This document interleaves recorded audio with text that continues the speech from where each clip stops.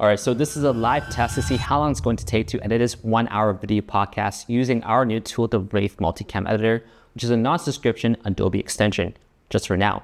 Um, but this is a, live take. I'm not gonna edit this. We're gonna see from start to finish how long it takes and also to see the final results at the end. And I promise you, I'm gonna stop talking once this is done.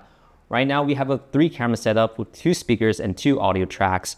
However, this does have support up to eight video tracks and eight audio tracks as well. We have editing controls at the bottom here, so you can really define how you want this to look like. Um, either having a longer duration clips or shorter duration is really up to you.